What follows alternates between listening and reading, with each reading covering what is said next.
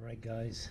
So this is the first segment of most likely a nine segment series I'm going to do on the construction of the Mini Pulse Plus Beach Pulse Induction Detector.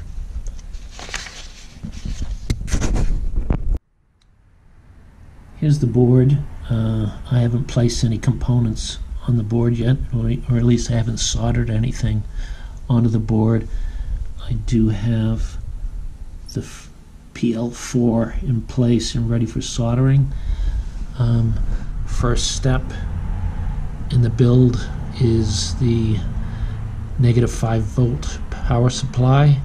So we have a, a 22 microfarad electrolytic capacitor and we have a 79L05.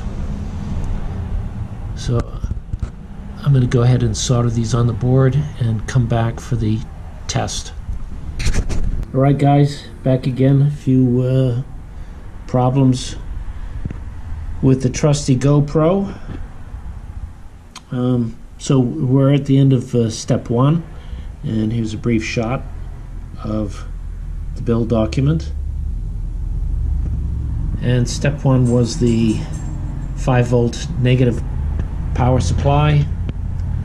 Here's the components that the board is populated with.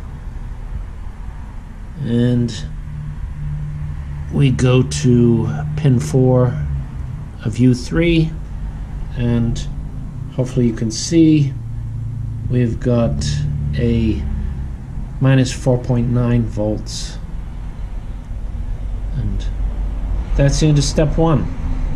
I'll be back with step two. Thanks.